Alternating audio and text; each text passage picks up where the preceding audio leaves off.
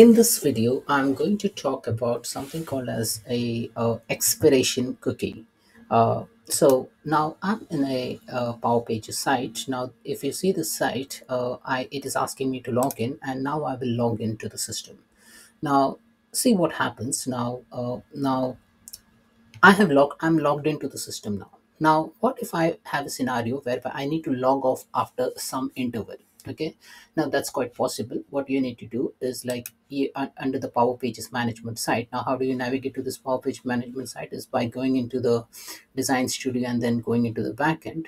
Now, once you are in the backend, click on Site Settings, and within that site setting, you need to add this record okay now this record might not be existing in your application okay but if it if it doesn't exist then what make sure that you add this correct line authentication slash application cookie slash expire time span okay now what this indicate this indicates uh, hour minute and second now, if I put zero zero zero one zero zero, what I have done is I have made one minute timeout. Okay, so what happens if I log into the system? Now, let's assume I'm logged into the system. Now, uh, after some time, this system will log off uh, from the uh, registered account.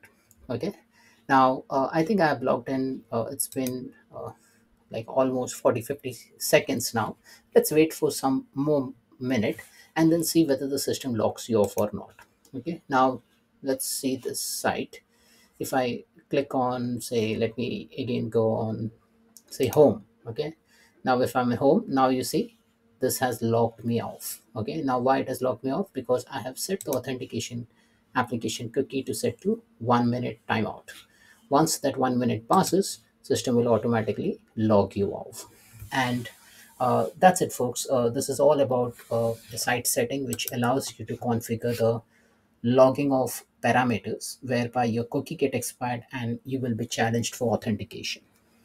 Thanks for watching